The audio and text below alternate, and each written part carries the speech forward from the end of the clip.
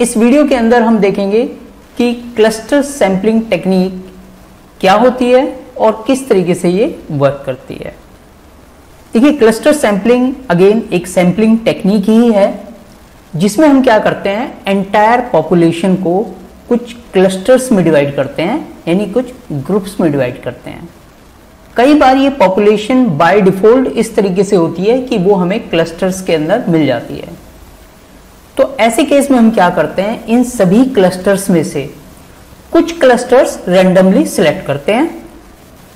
अब ये बन जाता है हमारे पास क्लस्टर्स का सबसेट इसके बाद ये जो कुछ क्लस्टर्स का सबसेट बना है, इसके ऊपर हम स्टडी परफॉर्म करते हैं, अपना एनालिसिस परफॉर्म करते हैं। तो इस तरीके से जो सैंपल सिलेक्ट किए जाते हैं, उसे ही कहा जाता है क्लस्टर सैंपलिंग टेक्निक क्लियर तो एक बार स्टेप बाय स्टेप देख लेते हैं कि ये किस तरीके से वर्क करता है। सबसे पहला स्टेप कि हम पूरी पॉपुलेशन को कुछ क्लस्टर्स में डिवाइड करते हैं।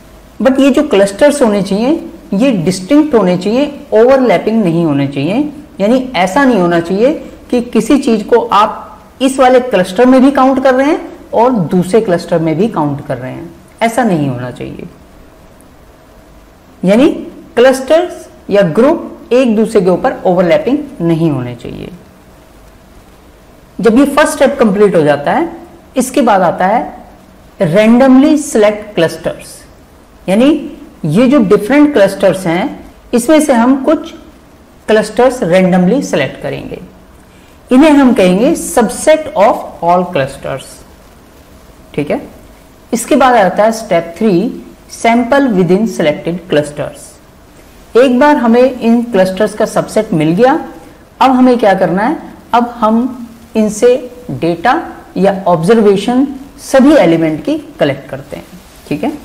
डेटा कलेक्ट होने के बाद फोर्थ स्टेप आ जाता है analysis after collecting data all from elements with the chosen clusters अब स्टेटिस्टिकल एनालिसिस हम इनके ऊपर परफॉर्म करते हैं और उसके बाद एक कंक्लूजन एंटायर पॉपुलेशन के बारे में ड्रॉ करते हैं। अब बात कर लेते हैं कि इस तरीके की टेक्निक कब हमें यूज़ करनी चाहिए या कब ये यूजफुल रहती है। देखिए, जब पॉपुलेशन बहुत बड़े एरिया में स्प्रेड आउट है, यानी फैली हुई है, तब आप इसका यूज़ कर सकते हैं।